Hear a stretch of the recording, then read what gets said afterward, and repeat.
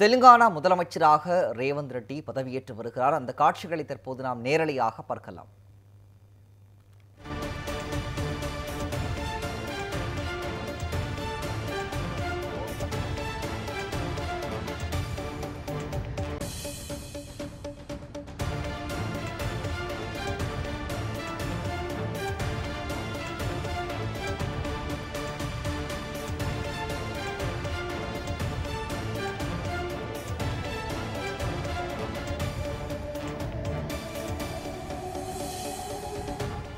ஆந்திராவில் இருந்து தெலுங்கானா மாநிலம் கடந்த இரண்டாயிரத்தி பதினான்காம் ஆண்டு பிரிக்கப்பட்டது. இதையடுத்து அங்கு முதல் முறையாக காங்கிரஸ் ஆனது ஆட்சியை அமைக்கிறது.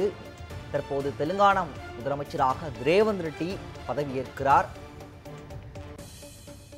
தெலுங்கானா ஆளுநர் தமிழிசை சவுந்தரராஜன் அவருக்கு பதவி பிரமாணம் செய்திருக்கிறார். இதில் காங்கிரஸ் தேசிய தலைவர் மல்லிகார்ஜுன கார்கே காங்கிரஸ் முன்னாள் தலைவர் சோனியா காந்தி ராகுல் காந்தி பிரியங்கா காந்தி ஆகியோர் இதில் பங்கேற்கிறார்கள்.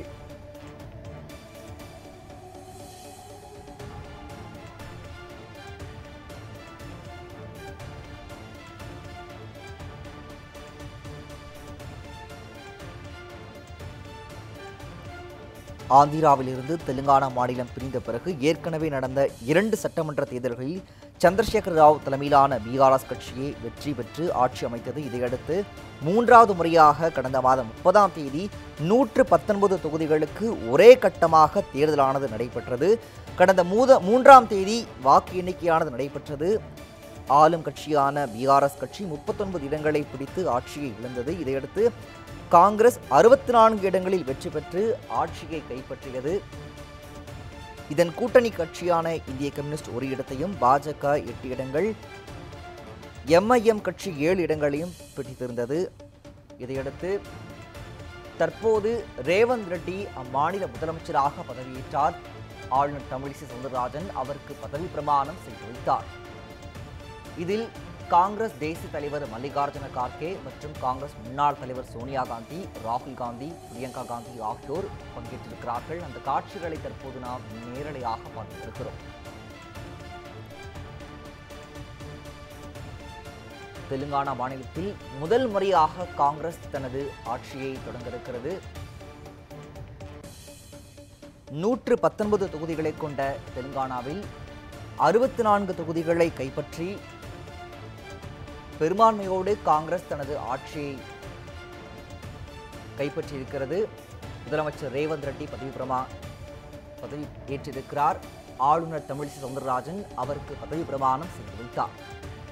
இதில் காங்கிரஸ் தேசிய தலைவர் மல்லிகார்ஜுன கார்கே காங்கிரஸ் முன்னாள் தலைவர் சோனியா காந்தி பிரியங்கா காந்தி ராகுல் காந்தி ஆகியோர் பங்கேற்றிருக்கிறார்கள். அந்த காட்சிகளை தற்போது நாம் பார்த்து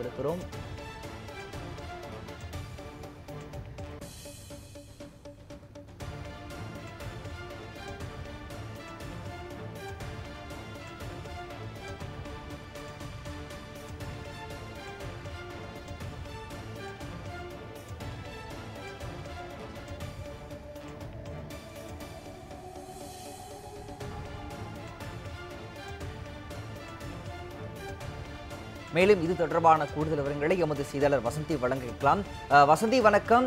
தெலுங்கானாவில் முதல் முறையாக காங்கிரஸ் தனது ஆட்சியை கைப்பற்றியிருக்கிறது. ரேவந்த் ரெட்டி பதவியேற்றிருக்கிறார் தற்போது அமைச்சர்களும் பதவியேற்று வருகிறார்கள். இது தொடர்பான முழுமையான விவரங்களை பதிவு பண்ணலாம்.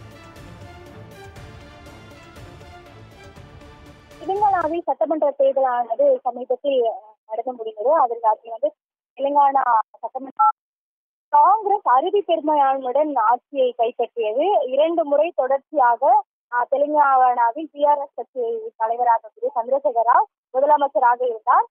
இந்த கடந்த தேர்தலில் அவருடைய கட்சியானது அவர் அவர் அவர் போட்டியிட்ட தொகுதியிலே அவர் பெரும்பான்மை இல்லாம அவர் வந்து அவர் வந்து அவரோட பதவியை இழந்திருக்கிறார். தற்போது தெலுங்கானாவில் அதாவது கமரெட்டியில் போட்டியிட்ட காங்கிரஸ் வேட்பாளர் முதலமைச்சர் அறியப்பட்ட ரேவந்த் ரெட்டி அப்புறம் அவரை எதிர்த்து போட்டியிட்ட முதலமைச்சர் வேட்பாளராகவும் அதே டிஆர்எஸ் உடைய முதலமைச்சராக இருந்த சந்திரசேகராவை பின்னுக்கு தள்ளி அவர் வந்து முன்னிலை அடைந்தார் இருக்காரு அவர் வந்து தற்போது தெலுங்கானா பொறுத்த வரைக்கும் காங்கிரஸ் முதல் முறையாக ஆட்சியை கைப்பற்றிருக்கு. ரெண்டு முறை ரெண்டாயிரத்தி பதினாலுல தான் தெலுங்கானா உருவானது.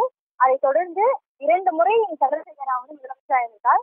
முதல் முறை அதாவது ஒரு ஒரு ஒரு வருடத்திலேயே காங்கிரஸ் ஆனது ஒரு ஒரு மதிப்பு தக்க அளவுல வந்து கொண்டு வந்ததுல ஒரு பெரும் சந்திர இது ரேவந்த் ரெட்டியே சாரும். அவர் வந்து காங்கிரஸுடைய ஆஹ், மாநில தலைவராக ரெண்டாயிரத்தி இருபத்தி ஒன்றுல தான் பதவி அவருக்கு வந்து பொறுப்பு கொடுக்கப்பட்டது. அது பதவி பொறுப்பு கொடுக்கப்பட்டதிலிருந்தே பல்வேறு வியூகங்களை அமைச்சு அங்க இருக்கக்கூடிய சீனியர்ஸ் லீடர்ஸ் எல்லாமே காம்ப்ரமைஸ் பண்ணி தான் அவர் இந்த தேர்தலை வந்து எதிர்கொண்டாங்க. அவர் அந்த அவர் வந்து தேர்தலை அணுக அணுகுன விதவும் அதே போல அவர் பல்வேறு விஷயங்களை வந்து செஞ்சிருக்காரு. அதனாலதான் கட்சி தலைமை காங்கிரஸுடைய தலைமையானது ரேவந்த் ரெட்டிக்கு முதலமைச்சர் பொறுப்பை கொடுக்கலாம் அப்படின்ற முடிவை எடுத்து அதன் பேர்ல தற்போது முதலமைச்சராக ரேவந்த் ரெட்டி வந்து பதவியேற்கிறார். ஆஹ் அவரோட இரு அமைச்சர்களோட பெயர் அடிப்பட்டு பன்னிரண்டு அமைச்சர்கள் அந்த கேபினெட் மினிஸ்டர்ஸாக வருவாங்க. அதுல வந்து கொண்டா சுரேகா அப்புறம் கோமதி கோமதி ரெட்டி அப்புறம் ஜூபலி கிருஷ்ணா ஆட்டி விக்ரமாகா உஸ்மா குமார் அப்புறம் சுப்பா ஸ்ரீதர் பாபு தாமோதரா போன்றவர்கள்லாம் வந்து பாத்தீங்கன்னா பன்னிரெண்டு அமைச்சர்கள் வந்து ரேவந்த் ரெட்டியுடன் அமைச்சரவையில வந்து அலங்கரிக்கிறாங்க.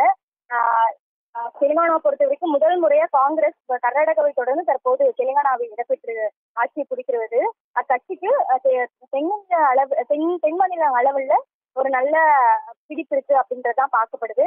பதினைந்து ஆண்டுகளா மாவோயிஸ்ட் இதுல வந்து மாவோயிஸ்டாக வாழ்ந்தவர் சீதாக்கா. அவர் வந்து அப்புறமேட்டு அரசியல் நீரோட்டத்துல இணைந்தாரு. அதுக்கப்புறம் தெலுங்கு தேசம் அது போன்றதுல எல்லாம் கலந்துக்கிட்டு தற்போது அமைச்சரவை காங்கிரஸோடைய தெலுங்கானா மாநில உள்துறை அமைச்சராகவும் இருந்தாரு. தற்போது உள்துறை அமைச்சராக அவர் காங்கிரஸோடைய மாநில உள்துறை அமைச்சராக சித்தார்த்தா வந்து நியமிக்கப்படுவார் எனவும் கூறப்படுது இந்த இதுல. ஸோ இதுல இந்த நிகழ்ச்சியில பார்க்கும்போது க- கர்நாடகா முதல்வர் சித்தராமையா துணை முதல் முதல்வர் டி கே சிவகுமார் அதே போல தமிழ்நாடு முதலமைச்சர் அஹ், உள்ளிட்டவர்லாம் இங்க வந்திருந்தாங்க அஹ், சந்திரபாபு நாயுடு உள்ளிட்டவர் வந்து இந்த விழாவில் வந்து கலந்துருக்காங்க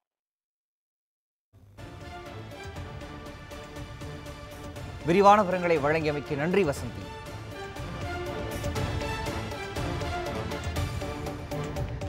అనే నేను యనుమల రేవంత్ రెడ్డి అనే నేను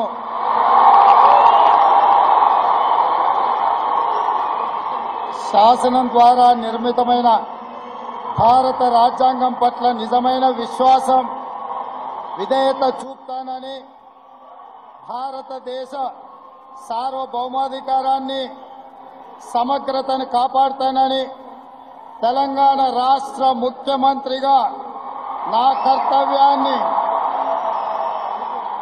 శ్రద్ధతో అంతఃకరణ చిత్తశుద్ధితో నిర్వహిస్తానని భయం గాని పక్షపాతం గాని రాగద్వేషాలు గాని లేకుండా రాజ్యాంగాన్ని శాసనాలను అనుసరించి ప్రజలందరికీ న్యాయం చేకూరుస్తానని దైవ సాక్షిగా ప్రమాణం చేస్తున్నాను.